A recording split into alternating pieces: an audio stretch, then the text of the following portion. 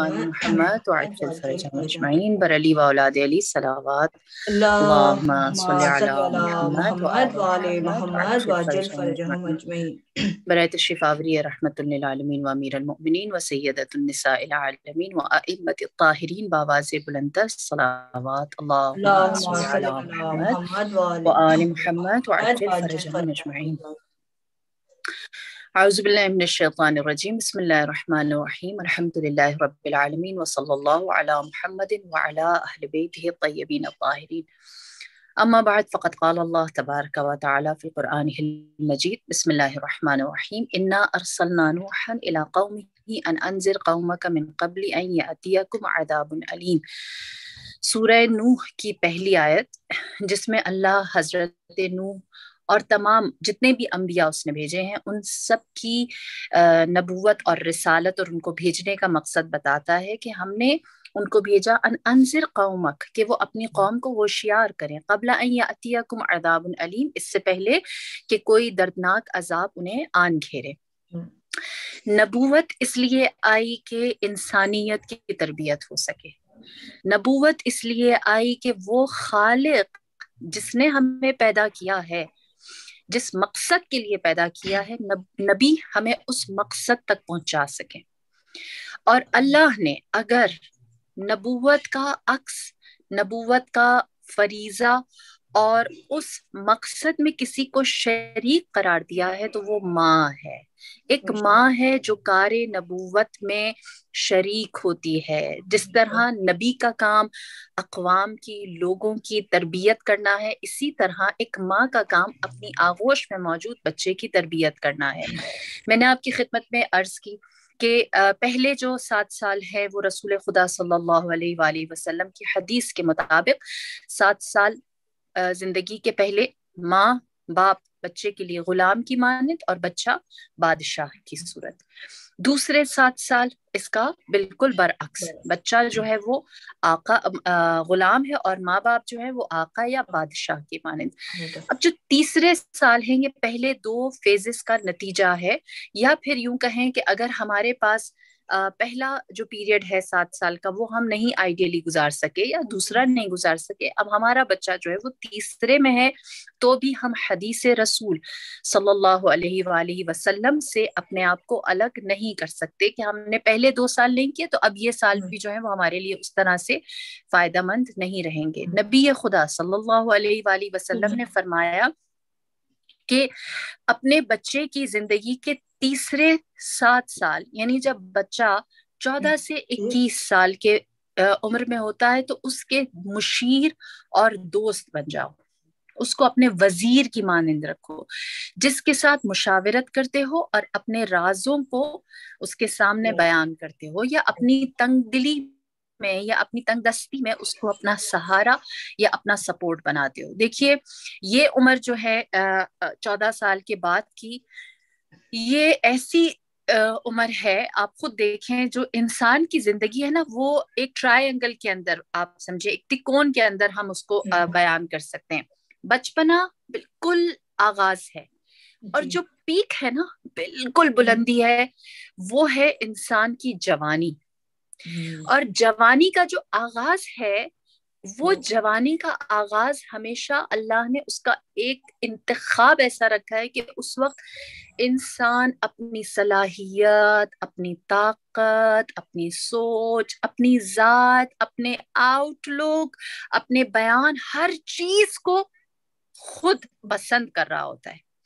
और हम्म। उस वक्त उसका एतमाद सबसे बढ़कर होता है ना? हम हम सबने ये एज गुजारी और हम सब जानते हैं कि जैसे ही पंद्रह सोलह सत्रह अठारह साल का बच्चा होता है या हम सब थे तो लड़कियाँ लड़कियाँ उसी वक्त बनाओ सिंगार पसंद करती हैं। लड़के भी शीशे के आगे से नहीं हटते। जेल का इस्तेमाल जो है वो इसी एज में ज़्यादा हो जाता है लड़कों में है ना? अपने हेयर कट अपनी मर्ज़ी से बनाते हैं। पेरेंट्स की राय जो है वो उसे पसंद। ये सारी चेंजेस जो है वो फिफ्टीन के बात आनी शुरू होती है। जो किस बात की निशानदेही है इंसानी नफ्सियात या इंसानी शख्सियत कि वो जो ट्रायंगल है ना तिकोन जो है इंसान का उसकी पीक पर इंसान पहुँच गया है। वो बुलंदी पर ऐसा पहुँचा है कि वो अपनी जात से बढ़कर किसी और को पसंद नहीं करता। अब जो सेल्फ ऑब्सेशन कहें या इसको अपनी खुद पसंदी कहें या फिर इसको आप समझें कि एक नेचुरल या कुदरती तौर पर एक इंसान के अंदर ऐसी चीज़ है क्या हम इंसान की नफ्सियात और उसके अंदर जो पैदा होने वाली कुदरती चीज़ है उससे अलग हो सकते हैं?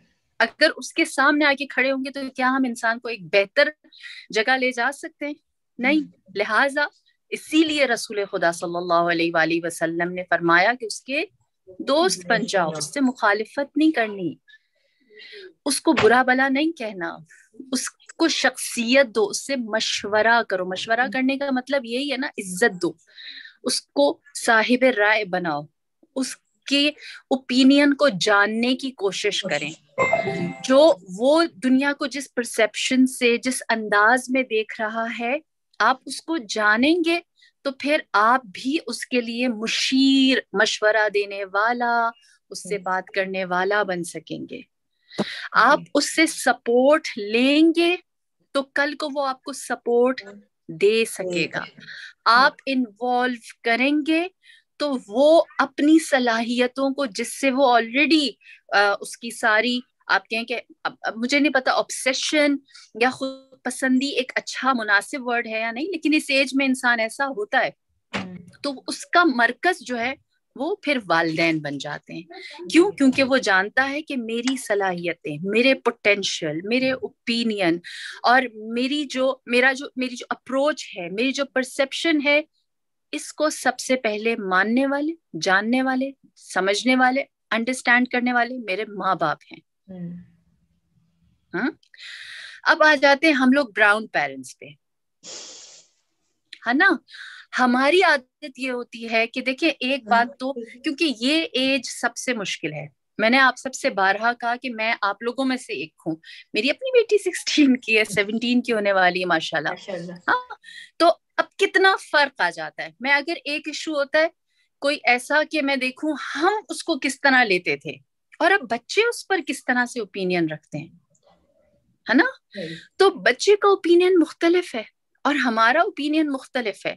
अमीर अलमिन सलाम ने क्या फरमाया था? अपने बच्चों को अपने आने वाले जमाने के लिए तैयार करो। और मैं अक्सर एक बात जब अपनी बच्चों की तरबियत करती हूँ तो मैं सोचती हूँ, मुझे याद है मैं सिक्स क्लास में थी बारह साल की थी तो हमें सिखाने के लिए कंप्यूटर सिखाने के लिए ट्यूटर आता था एक कमरे में हमारा बड़ा सा वो सीपीयू और फिर मॉनिटर हाँ। और वो आ, क्या की पैड ठक ठक ठक ठक जिसके ऊपर मुझे याद है वो हमें सिखाते थे कि चार उंगलियाँ यूँ रखो ए एस डी एफ़ ना? तो हम लोग टाइपिंग सीखते थे कि टाइप करने का ये ये टुक टुक टुक टुक ऐसे नहीं मारना होता यूँ हाथ रखने होते हैं। तो हमें हमारे वालिद ये कहते थे कि टेक्नोलॉजी से आगा रहना आपने कंप्यूटर सीखना आपका जमाना कंप्यूटर का है हम्म। और जब हम प्रोफेशनल लाइफ में आए या हमने अपना बाकायदा एक करियर स्टार्ट किया तब तक तो उस पर हम फातिहा पढ़ चुके थे इतने बड़े कंप्यूटर के ऊपर है ना हम्म। जमाना कैसे चेंज होता है अब अगर मैं अपने बच्चों को टच फ़ोन का या फिर मैं कहूँ कि ये स्मार्ट जो टेक्नोलॉजी इसको सीखो इसमें सब कुछ है लेकिन हमने देखा है कि कितनी तेज़ी से जमाना बदलता है। हमें जिस चीज़ के लिए तैयार किया जा रहा था जमाना उससे आगे निकल गया। तो जो चीज़ हमारे लिए इस वक्त अब ये बात मैं अपने और आपके ऊपर ले आऊँ कि हम्म। हम अपने बच्चों को अपने जमाने पर रखेंगे तो उसका जमाना कितना आगे हम्म। है ना? हमारे सामने जो हमारा विजन है वो हमें सरप्राइज़ दे सकता है कि जो हम देख रहे हैं हो सकता है माशरा जमाना टेक्नोलॉजी डिस्कवरीज और सोसाइटी उसकी वैल्यूज़ नॉर्म्स इतने आगे निकल जाएँ कि हम खुद हैरान जदा हूँ कि हमने तो सोचा भी नहीं था ऐसी भी कोई चीज़ होगी दुनिया इतनी तेज़ी से निकल जाएगी हम्म। इसलिए जो आपके बच्चे का ओपिनियन है उसको जाने हम्म। उसके ऊपर हम हमने अपने माँ बाप से ऐसा सीखा है कि जो उन्होंने कहा सलाम अलैकुम सही है या गलत सोचा ही नहीं। है ना सदफ ऐसा ही था। हम तो कहते थे पढ़ भी रही है तो हमें मार से ही पढ़ेंगे हम हम तो समझते थे हम दुनिया में आए ही थप्पड़ खाने के लिए हैं और हमें बुरा भी नहीं लगता था। ठीक है? लेकिन अब हम वही रवैया क्या अपने बच्चों के साथ रख सकते हैं? नोइंग द फैक्ट कि जमाना कितनी तेज़ी से चेंज हो गया है और अब ऐसा नहीं है कि आप लंदन में हैं मैं इस्लामाबाद में हूँ कोई मुंबई या कोई ऑस्ट्रेलिया में बैठा हुआ है टाइम जोन मुख्तलिफ़ है मौसम अलग है कल्चर मुख्तलिफ़ है जबान अलग है जो पढ़ाइयाँ हैं वो स्टडी सब कुछ अलग है। लेकिन हम लोग एक टैप करने के साथ एक छत के नीचे आ जाते हैं। हम्म? हम लोगों ने कितनी छोटी दुनिया बना दी लिहाजा आपका बच्चा जो इजहार ख्याल करता है आप उसको सुने उसको हम्म। समझें और अगर बच्चे के ख्यालात बिल्कुल गलत हैं। मैं कहती हूँ यानी आप कहें कि वो तो अल्लाह के बारे में मुझसे मुझे कहता है कि ईमान रखो या ना रखो कोई फ़र्क नहीं पड़ता है ना? दुनिया बगैर रब के बगैर पालने वाले के बहुत बेहतरीन है। इंसानियत होनी चाहिए सही वैल्यूज़ होनी चाहिए ऐसी भी बच्चे, बच्चे बातें करते तो क्या मैं कहूँ ठीक है अगर तुमने लादीन होना है अगर लामजहब होना है तोहीद से हट जाना है तो बेशक हट जाने दू। क्या ये हो जाए आसानी से? हम्म। अब ऐसी जगह पर जहाँ एक बहुत बड़ा डिसएग्रीमेंट है। हम्म। आप ये हदीस अगर लिख लें आपको सारी ज़िंदगी आपकी जो हुकूक नास है ना उसकी हम्म। अदायगी में काम आएगा। सिर्फ़ हम्म। बच्चों की तरबियत में नहीं। अमीर कायनात सलाम फरमाते हैं जब नौजवान के साथ आर्ग्यूमेंट या कोई डिबेट करो तो उसके साथ लॉजिक रखो। अक, अकली दलाइल दो। जो बात हो उसमें तुम्हारे पास कोई सेंस हो। जब तुम किसी अधेड़ उम्र के साथ बात करो मिडिल हम्म। एज से बात करो तो एविडेंसेस दो। सबूत लाओ। अकल को छोड़ो। तुम्हारे पास सबूत होने चाहिए। एविडेंसेस सॉलिड चीज़ें तुम प्रूफ कर सको। हम्म? और जब किसी बुज़ुर्ग से बात करो तो खामोशी। कुछ प्रूव नहीं करना। सुकूत कर लो।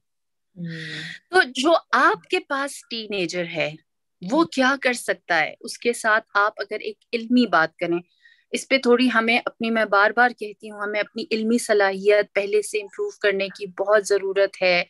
आप समझें कि ज़मीन पर आग लगी हुई है तंदूर गर्म है चार जवानिब से आपके बच्चे को टीनेजर को टारगेट करने के लिए पकड़ने के लिए क्या चीज़ है जिसका इस्तेमाल नहीं हो रहा? क्या गाने नहीं हो रहे? क्या डांसेस नहीं हो रहे? और जो फ़िल्में बनाई जा रही हैं नेटफ्लिक्स में आप मुझे कोई एक आप अपने बच्चे से पूछे ना कोई एक सीरीज़ ऐसी बता दो कोई एक आ, ऐसी प्रोडक्शन जिसके अंदर होमोसेक्सुअलिटी को इनडायरेक्टली ना डाला जा रहा हो। नेटफ्लिक्स पे बता दें। अभी आप बीबीसी की रिपोर्ट देखें जो इंडिया में पहली पहली लेस्बियन मैरिज हुई है उसमें उनसे पूछा कि आपके लिए इंस्पिरेशन क्या थी? जो बीबीसी हिंदी है उस पर मैंने ये रिपोर्ट देखी। बट छोटी सी चार चार मिनट्स की होती है तो उनसे पूछा क्या क्या चीज़ आपको इंस्पायर की और आपके जहन में आया कि आप भी हो सकती हैं? हम्म। क्योंकि इंडिया में इतना कल्चर नहीं है। तो उसने कहा कि मैं फ्रेंड्स सीरीज़ देखती थी। हम्म। कितना पॉपुलर है। और हमारे हम लोग फ्रेंड्स क्यों देखते हैं? कूल है ना? अब आप अपने बच्चे को रोक नहीं सकते लेकिन आपने जाहिल भी नहीं रहना हम्म। बेखबर भी नहीं रहना आपके बच्चे का ओपिनियन आएगा हम्म। और वो अपना ओपिनियन देने का हक रखता है हमारे दोनों कान सुनने के लिए सरापा तैयार हो और फिर हमने सुनते ही जैसे हमें आके ठा लगते थे थप्पड़। ये वो जमाना नहीं है है ना? हमने अमीर अलमिन की हदीस के मुताबिक जैसे आपने फरमाया कि उनके सामने लॉजिक मंतिक अक्ल दलील से बात करो। हम्म। उनके सामने दलाइल को रखो और फिर उसके बाद उनकी राय हम बदल सकेंगे। ये पहली चीज़ है कि हम अपने बच्चों की जब कहते हैं कि मुशीर बनाना है तो मुशीर गुलाम जैसा मुशीर नहीं कि मुशीर की डोर मेरे हाथ में होगी उसको, उसकी, उसके दायरे में, उसके बबल के अंदर पूरी आज़ादी दें जो वो सोच सकता है और फिर उसको समझाना, ये आपकी। आपका चैलेंज और आपका फरीजा है और इसीलिए मैं सूरह नूह की पहली आयत जिसमें हज़रत नूह अल्लाह से ये कहते हैं कि मैं लोगों को सुबह शाम बुलाता हूँ। आप लोगों से मैंने पहले ही सेशन में कहा था कि सूरह नूह की पहली आठ आयत पढ़ लें आपका दिल बड़ा हो जाएगा। हम्म। कि हज़रत नू सलाम ने इतनी तबलीग की और उसके बावजूद अगर उन्हें इतना रिज़ल्ट नहीं मिला मेरे तो चार या पाँच या बहुत ही किसी ने कुछ किया तो छक्का ही मारा होगा। आजकल की खातन ने छह ही बच्चे होंगे है ना? हम्म। तो अब मैं अगर छह को भी ना संभाल सकूँ तो मैं कार्य नबूवत क्या करूँगी? हम्म। ठीक है? तो अगर मुशीर है तो मुशीर का मतलब यह है कि जिस तरह अलैहिस्सलाम की तालीमात हैं कि आप उनकी राय को सुने और सुनने के बाद उन्हें आने वाले जमाने के लिए तैयार करें और आने वाले जमाने के लिए तैयार करने के लिए नौजवान के साथ बहस में दलील चाहिए है। लॉजिक चाहिए अक्ल मंतिक चाहिए है। सेंसलेस बातें अम्मी अबू ने ये कहा था सदियों से ये चलता चला आ रहा है होता चला आ रहा है जैसा कहा गया है वैसा करो। ये वो जमाना नहीं रहा। दूसरी चीज़ जो आ, मुशीर के लिए ज़रूरी है वो है इज़्ज़त। जो टीन हिजर्स होते हैं ना इनकी इज़्ज़त बहुत बड़ी होती है। और ये बड़ी जल्दी इनकी बेइज्जती भी हो जाती है। और इनके जज्बात जितने हमारे सामने शेयर होते हैं उतना जो है वो पियर्स के अंदर उतने ही सेंसिटिव होते हैं। हमने भी ये एज गुजारी है और जो बच्चे मुझे सुन रहे हैं वो ये ना सोचे कि मैं उनको यानी टॉन्ट कर रही हूँ या कुछ कह रही हम भी ऐसे थे बिल्कुल ऐसे थे। कि हमें होता था कि हमने अपने आप को अपना बड़ा परफेक्ट एक वो इमेज दिया हुआ है तो वो कहीं से खराब नहीं होना चाहिए। जो एक फितरी ज़रूरत है आप माँ हैं आपने अपने बच्चे की फितरी ज़रूरत को हर्ट नहीं करना। उसको पॉजिटिवली हम्म। प्रोडक्टिवली उसकी पर्सनैलिटी की डेवलपमेंट में इस्तेमाल करना है। रसूल कायनात सल्लल्लाहु अलैहि वसल्लम बाज़ार में गए आपने बड़ा खुश रंग लिबास खरीदा। और आपने वो लिबास अमीर अलमोमिनीन को दिया। फिर आपने एक और खुश रंग लिबास खरीदा वो आपने जनाब अबाजर को दिया। फिर आपने एक और खुश रंग लिबास लिया जो रंग जरा निस्बतन हम्म। डल कलर था वो आपने अपने लिए रखा। आपसे पूछा कि आपने ये लिबास और ये कलर्स एक अबाजर को दिया एक आपने जनाब अमीर कायनात को दिया और एक आपने जो डल कलर है कदरे लाइक कम है वो आपने अपने लिए रखा। जनाब अमीर मोमिन अली के लिए आपने इतना तेज रंग। तो आपने फरमाया अली जवान है। और अबूजर जवान है। और जवान की खुशी यह है कि उसको उसकी उम्र के मुताबिक डील किया जाए। देखिए इज़्ज़त है ना? हम्म। इज़्ज़त है कि जो इसकी फितरी नीड है उसके मुताबिक उसको एड्रेस किया जाए। जो वो चाहता है जो यानी उसकी जात के साथ जाता है। हम कभी भी इस्लाम कभी भी इंसान की फितरत के मुखालिफ नहीं चलता। हम्म। लिहाजा जो इस इस एज का तकाजा है उस तकाजे को फुलफिल करें उसको इज़्ज़त दें। अनफॉर्चुनेटली हमारी ये होती है कि हमारे माँ माओ की भी आ, मुझे भी पर्सनल उसमें किसी ने लिखा कि मदर्स भी बहुत ज़्यादा ऐसा। मैं आपको एक बात बताऊँ हमारी भी गलती है। मैं इस बात का बरमला इजहार इसलिए भी करूँगी कि बच्चों को भी पता चले कि हमारे, हम, हमारे मकासद बहुत अच्छे होते हैं, लेकिन हमारे दिल बड़े दुखे हुए होते हैं। जिस तरह बच्चों को होता है ना कि बहुत कुछ करना है और होता नहीं है और हो नहीं पाता तो माए भी, मैं समझ सकती हूँ, हर माँ चाहती है कि वो अपने बच्चे को सौ में से दो सौ फ़ीसद दे, लेकिन उसकी तवानाई उसकी कुछ लिमिटेशंस क्या करें? दिन में चौबीस ही घंटे होते हैं। हम्म। पच्चीसवा घंटा ही नहीं मिलता। तो इस मामले में भी आपने अपने माँ बाप के दिल पर मरहम रखना है। और माओ का काम क्या है? देखिए आपके पास औलाद मुशीर है मुशीर है आपका साथी है आपका सहारा है। अपने गम बच्चों से ना छुपाएँ। मैं नहीं कह रही कि आप दूसरों के ऐप बच्चों को बताएँ। किसी का ऐप बताना इज़ टोटली डिफरेंट थिंग अपना गम या अपने इमोशंस किसी के साथ शेयर करना, वो बिल्कुल अलग बात है। अगर आप अपने बच्चे की इज़्ज़त की मुहाफिजत करना चाहती हैं, आप ज़रूर करें। और कहीं से लगता है कि माँ मेरी बुराई क्यों कर देती है किसी के सामने? तो आप बजाय किसी के सामने अपने बच्चे की बुराई करें या अपनी ही दर्द दिल किसी और के सामने करें अपने इमोशंस को बच्चों के साथ शेयर करें। अक्सर आपने सुना होगा बच्चे जो हैं वो मीम्स जो मुझे भी मेरे बच्चे भेज रहे होते हैं कि माएँ जो होती है ना वो खालाओं से बहुत बातें कर रही होती हैं। है ना? जो बेस्ट फ्रेंड्स होती है सारे दुखड़े उन्हें सुना रही होती है उनके साथ मीटिंग प्लान हो रही होती है उनके साथ हो रहा होता अच्छा मैं ये चेंज कर लूँ वो कर लूँ। तो जब ये लोग मुझे भेजते मुझे होते हाँ ये बातें तो मुझे इनके साथ अपने बच्चों के साथ करनी चाहिए। है ना? तो हम बजाय के कि हम भी अपना काबा और किबला बच्चों की तरफ़ बुलाएँ।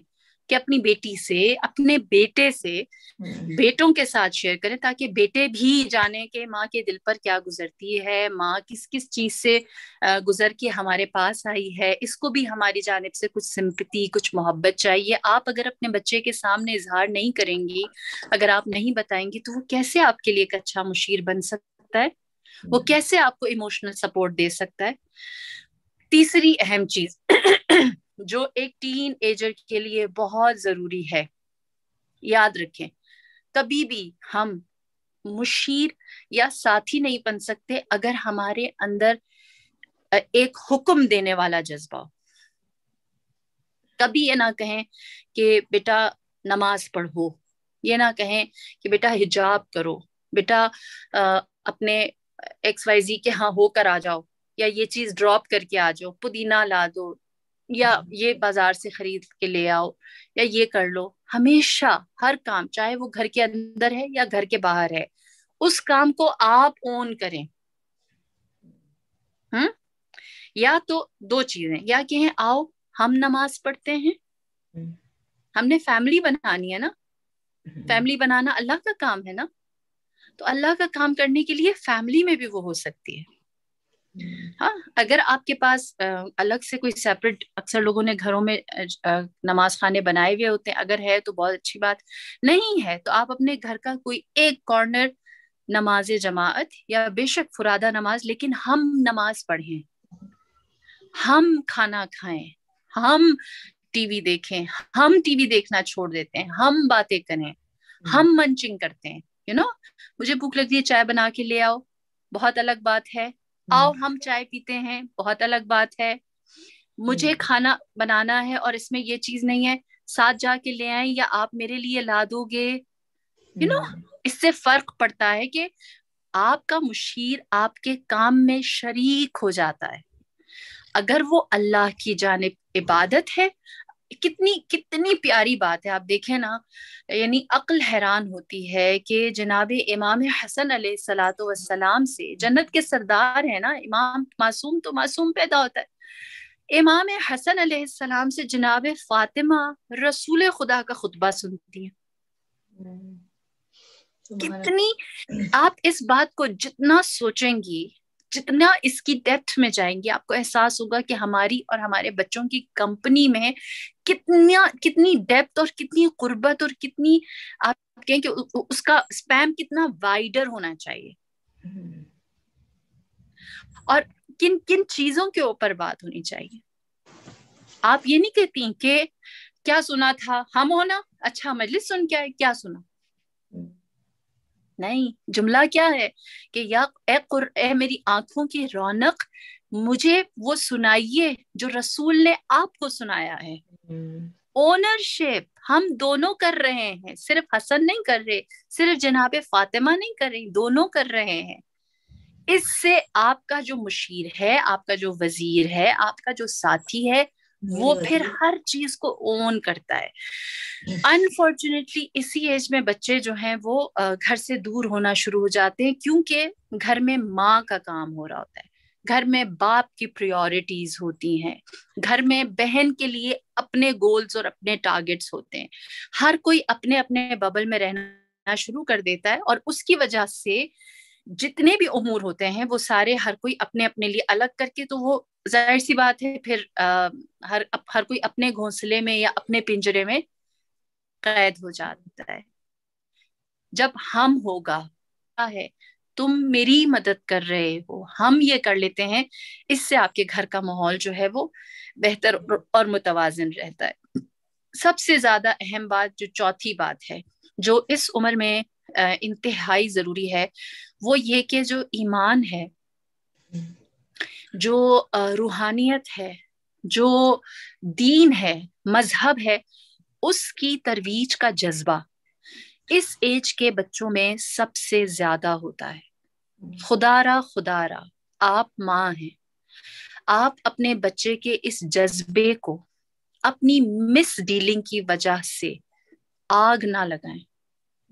मुझे बड़ा अफसोस होता है कि अहादीस रसूल अहादीस आइम्मा देखें तो उसमें वाजे होता है वाजे जैसे मिसाल के तौर पर आ, इमाम जाफ सलाम के पास बसरा से एक शख्स आया और आपने पूछा कि अहले बसरा के हालात कैसे हैं? उसने बताया कि वहाँ पर लोग आले रसूल से बहुत दूर हो रहे हैं और हम जितना भी अहले बैत के आपके आ, विलायत का वहाँ पे तबलीग करते हैं लोग उसे कबूल नहीं करते।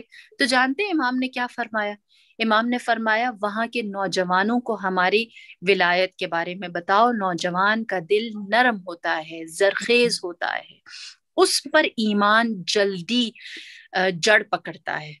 रसूल खुदा सल्लल्लाहु अलैहि वसल्लम ने अपने अतराफ में तीन साल जब खामोशी से तबलीग की तो आपने अपने आसपास बूढ़ों और ज़यीफों को रखा है नौजवानों को? जनाब अम्मार यासिर आपके साथ थे। हम्म। नौजवान थे। फिर जब आपने अपना पहला लश्कर भेजा है तो जनाब साद बिन जुरारा नौजवान थे। असब बिन उमैर साद बिन जुरारा सत्रह साल के थे जब आपने अपना पहला लश्कर भेजा है। जनाब मसअब मुसअब बिन उमेर 21 साल के थे जब आपने उनको अपने अपना नुमाइंदा बनाकर रूम की जानब इतनी इतना बड़ा एम्पर था। 21 हम्म। साल के बच्चे को भेजा है। सोचे आप ये एज कितनी अहम है कि इनकी दिल की जरखेजी को रिसालत माब सल्लल्लाहु अलैहि वसल्लम ने इस्तेमाल किया है। अमीर कायनात की सारी जंगे ले लें। मैंने आ, पहला जो सेशन हुआ था उसमें बयान किया था कि अमीर कायनात ने सारी जंगे जो आपने लड़ी हैं वो सारी इसी एज में है।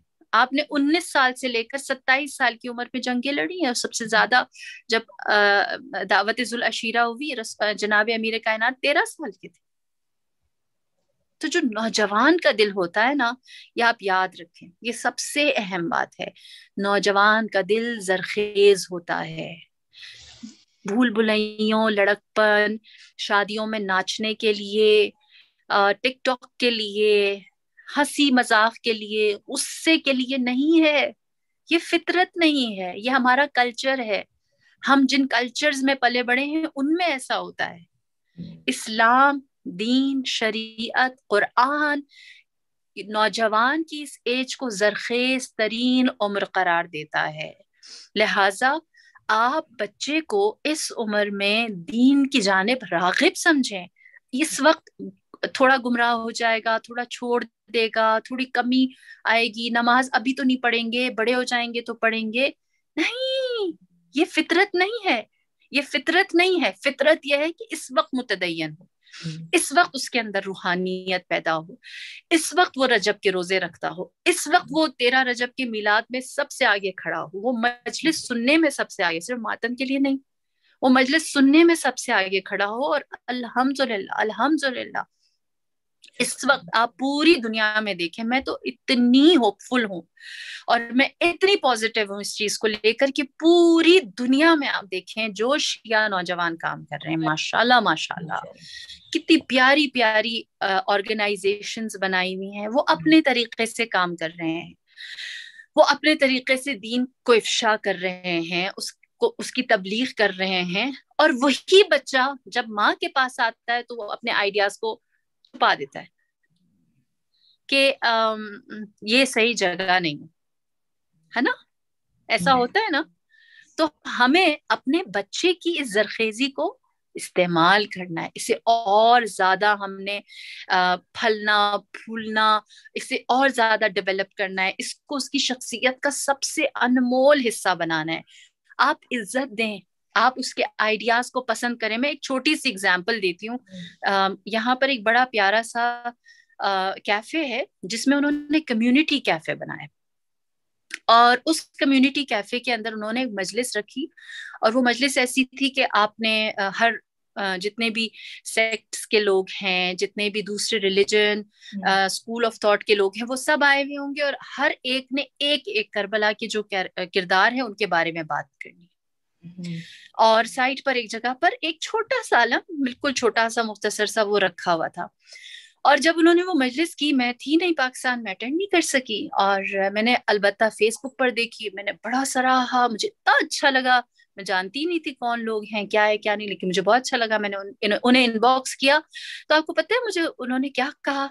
कहा आप हमें अप्रिशिएट करी हमारी माओ ने तो हमें कहा लह अजा खाने में तुम लोगों ने सिख बुला लिया हिंदू बुला लिया ये क्या किया आप मेरी अम्मी से मिलकर उन्हें कहेंगी कि मैंने अच्छा काम किया है अब हम्म। मैं क्या करूँ इन इतने देखिए हम हमारी गलती है ना ये माओ की गलती है कि हम जमाने के साथ साथ अब उसके अंदर वो जरखेजी है वो हम्म। चाहता है कि मजलिस जो है वो सिर्फ़ इतना अशरी के अंदर नहीं रहे।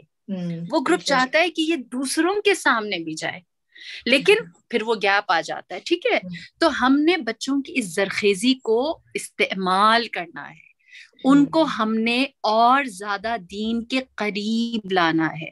हम और हमारे बच्चे अगर मिल जाएँगे अगर उनके आने वाले आइडियाज़ बेशक आप डिसअग्री करें कि आपको लगे कि हमारे यहाँ तो मजलिस ऐसे होती थी हम तो जदारी ऐसे करते थे ये लोग कैसे कर रहे हैं? आप उसके दीन की जानब रुझान को फरोग दें। उसको और बढ़ाएँ। जब आप बढ़ाएँगी तो आप देखेंगे कि मेरे मौला ने क्यों फरमाया? कुरान ने हज़रत आपने हज़रत इब्राहिम का वाक़ सुना है? हज़रत इब्राहिम सलाम ने जब बुतों को तोड़ा था हज़रत इब्राहिम 22 साल के थे। हम्म। कितनी छोटी सी उम्र थी। हम्म। जरखेज तरीन है ना? अमीर अलमिन पर जुल्फ़ार जब नाजिल हुई जब उतरी है अमीर अलमिन तो वो क्या लाफता इल्ला अली है ना? कि कोई फतह का मतलब क्या है? कोई नौजवान। नहीं है सिवाय अली के। एज क्या थी अमीर कायनात की जंग ओहद में? उन्नीस साल। उन्नीस साल के थे और जुल्फकार अता हुई है। अल्लाह ने तो इस उम्र के इंसान की जो छोटी बड़ी कंट्रीब्यूशन है अमीर कायनात की जो कंट्रीब्यूशन है उनको दोनों हाथों से लिया है अप्रिशिएट किया है और जुल्फकार अता की है। तो देखें जब अल्लाह के कामों में इस एज का इंसान इस्तेमाल होता है और वो तारीख लिखता है और उसके तुफैल से नस्लें तक क़याम क़यामत बदल रही हैं तो मेरे और आपके बच्चे के दिल में अगर कोई ईमान का जज्बा मौजूद है तो उस लॉ को उस छोटे से हिस्से को मैंने और आपने फूके देकर उसे और बढ़ाना है और। बढ़ाना है और ज़्यादा हाँ वो आपकी और मेरी तरह ज़्यादा आशुरा नहीं पड़ेगा वो हम्म। हमारी तरह मुस्तहब नमाजें नहीं पढ़ेगा हमारा बच्चा है ना? जो हमारा तरीका है वो वो नहीं करेगा। लेकिन वो अपने तरीके से ज़रूर करेगा। तो वो जो। जरखेजी है खुदारा उसको इस्तेमाल करें। उसको थोड़ा सा भी देखें तो अप्रिशिएट करें सराहें तस्करा करें। उसके पीछे जो विजन है उसको जाने। और जो वो कहता है अच्छी बात जो कहता है उसको सर आँखों पे रख के कबूल करें। हमने बच्चों को पीछे नहीं लेके जाना हमने बच्चों के साथ आगे बढ़ना है। हम सात आठ साल के बच्चे की बात नहीं कर रहे बारह पंद्रह साल के बच्चे की बात नहीं कर रहे। हम लोग एक ऐसे अडल्ट समझदार और इंटेलेक्चुअल वजूद की बात कर रहे हैं कि जो हमारा मुशीर हमारा साथी है। तो हम्म। मेरी दुआ है परवरदिगार आलम से कि परवरदिगार हमारी आगोश में आने वाले हर बच्चे को हमारे हाथ से कनीजी और गुलामी आले रसूल इनायत करे। और अरहम राहिमीन हमारी जबान से निकला हुआ हर जुमला हमारे जहन से निकला हुआ हर ख्याल और हमारी तरबियत का हर हिस्सा हमारे बच्चों के लिए एक बेहतरीन मशाल राह साबित हो। और जितनी भी मोमिनत इस सेशन में शरीक हुई हैं खुदा खुदावंद करीम सब के लिए उनकी शिरकत जो है वो ज़्यादा राह आखिरत करार पाए और बिलखसूस सदफ जो इतने खलूस से और इतने प्यार से इस मजलिस का इनका करती हैं सेशन का इनका करती हैं खुदावंद करीम आपके लिए भी ये ज़्यादा राह आखिरत करार पाए। मैं बहुत कम दूसरे चेहरे देख सकती हूँ लेकिन आज मैं बहुत एक स्पेशल बंदे को देख रही हूँ मेरा जी चाह रहा है मैं उसके लिए दुआ करूँ वर्दा तुम इतने दिनों बाद देख रही हूँ कोई पाँच छः सात साल हो गए मैंने नहीं देखा था। और thank you Fiza for coming खुदावंद करीम आप सब की तोफ़ीक़ात खैर में इजाफा करे। और हम राहमीन जो जो दिलों में हाजात लेकर आए हैं सबकी दिली हाजात को बेहक सिद्दीक़ कौनैन आज विलादत थी इमाम मोहम्मद तकी जवाद सलाम की। खुदावंद करीम, उनकी विलादत के सदक़े में आप सबकी झोलियों को भरे आप सबको जवाद, साहिब करम, साहिब एहसान बनाए, किसी का मोहताज ना करे। हमारा हर हर अमल इमाम ज़माना अजल फ़रज शरीफ के जहूर का सबब बने। और अरहम राहमीन जब मेरे आका, मेरे मौला जहूर फरमाए तो हमें, हमारे बुज़ुर्गों और बच्चों समेत उनके असहाब और आवान में जगह दे। आमीन या रब्बल आलमीन। आज क्वेश्चन आंसर सेशन में नहीं कर पाऊँगी।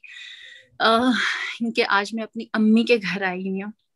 हम्म, तो मुझे आज क्या कहते हैं वो बेटी होने वाले काम भी बहुत सारे करने हैं। जी जी।